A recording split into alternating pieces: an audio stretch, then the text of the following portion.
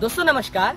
मैं Ayush Mishra, Mohan Mishra business coach YouTube channel में आप सभी का स्वागत करता हूँ। दोस्तों, मैं आप सभी को ये बताते हुए बहुत खुशी महसूस कर रहा हूँ कि आज हमने अपने यूट्यूब चैनल में कुछ नया करने का सोचा है। जैसा कि आपने थंबनेल में देखा होगा कि सक्सेसफुल और अनसक्सेसफुल व्यक्ति के बीच में क्या डिफरेंस होते हैं।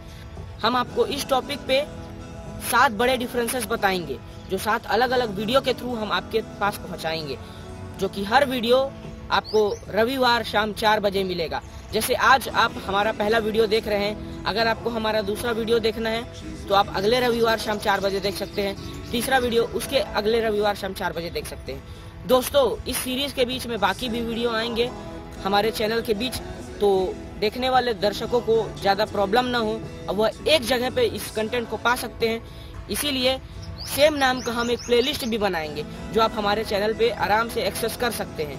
और बाद में आने वाले दर्शक भी इस पूरे कंटेंट को एक जगह पा सकते हैं। दोस्तों सक्सेसफुल और अनसक्सेसफुल व्यक्ति के बीच में पहला डिफरेंस आज का शुरू करने से पहले मैं आप सभी से ये जानना चाहूँगा कि कितने सारे लोगों के मन में यह सवाल है कि मैं तो खुद एक छोटा बच्चा हूँ, मैं क्या आप लोगों को समझाऊँगा सक्सेसफुल और अनसक्सेसफुल लोगों के बीच का डिफरेंस तो दोस्तों, आज का पहला वीडियो हमारा इसी पे है।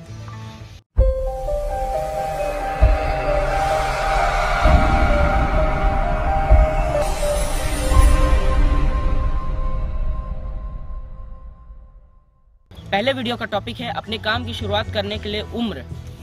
दोस्तों, जो सक्सेसफुल लोग होते हैं, वह कभी भी उम्र का इंतज़ार नहीं करते हैं। इसके विपरीत, जो अनसक्सेसफुल लोग होते हैं, उनकी यह सोच रहती है कि जब वो 18 साल के या 21 साल के हो जाएँगे, तभी वह अपना काम शुरू करेंगे। और ये उन लोग गलत सोचते हैं। जो सक्सेसफुल लोग होते हैं, वो किसी भी फ़ील्ड के हों, वो बचपन से ही उस फ़ील्ड में रुचि रखते हैं, गुणवत्ता रखते हैं। अगर आपको एक उदाहरण के तौर पर समझाया जाए तो एल्बर्ट आइंस्टाइन, जो कि एक बहुत प्रसिद्ध वैज्ञानिक है, उनके बारे में, उनके जीवन के बारे में बहुत सारे लोगों ने अपने स्कूल में या फिर कहीं भी पढ़ा होगा। तो आप जानेंगे कि एल्बर्ट आइंस्टाइन जो थे, अपने सारे विषयों में, स्कूल में हमेशा पीछे रहते थे। उनकी पढ़ाई में रुचि नहीं लगती थी। उनके टीचर उन्हें खूब डांटते थे। उनकी मेमोरी भी बहुत कमज़ोर थी। मगर विज्ञान में वो शुरू से रुचि रखते थे। और विज्ञान के वो छोटी उम्र से ही बड़े जानकार थे। दोस्तों, बहुत सारे लोग ये चीज़ को नहीं भी जानते हैं। वह बाकी सारे विषयों पर ध्यान नहीं देते थे, पर फिर भी विज्ञान में इतना जानते थे कि बड़े होकर वो एक महान वैज्ञानिक बने। इसी प्रकार से बहुत सारे बिजनेसमैन लोग भी ऐसे हैं, जो कि छोटी ही उम्र से अपना काम करना शुरू कर दिए थे। बहुत सी ऐसी किताबें हैं, बहुत से ऐसे लोग हैं, जिनका उदाहरण आप ले सकते हैं और ये जान सकते हैं कि हाँ कभी भी काम चालू करने के लिए समय का इंतज़ार नहीं करना चाहिए। आप कभी भी अपना काम शुरू कर सकते हैं। अगर आप एक I S I P S बनना चाहते हैं तो आपको class eighth ninth tenth eleventh किसी चीज़ का इंतज़ार नहीं करना पड़ेगा पढ़ाई करने के लिए। अब जब जितने भी छोटे हैं उनकी बुक्स लीजिए, उनके कोर्स के बारे में जानिए I S I P S लोगों के इंटरव्यूज़ देखिए, उस फ़ील्ड के बारे में जानिए, और जानिए कि उसमें क्या स्कोप है, उसमें कैसे घुस सकते हैं। आप कभी भी इंतज़ार ना करें कि जब हम कॉलेज में आएँगे, तब उसकी तैयारी करेंगे या पढ़ेंगे। दोस्तों, आज का वीडियो खत्म करने से पहले मैं आप सभी से ये बोलना चाहूँगा कि जो सक्सेसफुल आदमी होता है, वह कभी भी ऐसे बहाने नहीं ढूंढता कि मैं छोटा हूँ या अभी मैं काम नहीं कर सकता।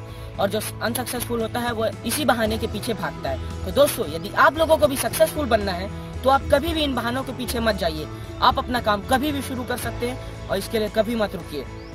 दोस्तों हम अपने वीडियो बनाने में बहुत सी मेहनत करते हैं। यदि आपको हमारे वीडियो अच्छे लगते हैं तो वीडियो पर लाइक ज़रूर कर दीजिएगा।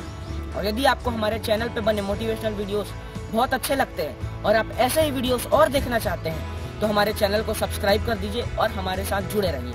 दोस्तों, आज के वीडियो में बस इतना ही। अगले वीडियो में आपसे फिर मिलेंगे। तब तक के लिए धन्यवाद।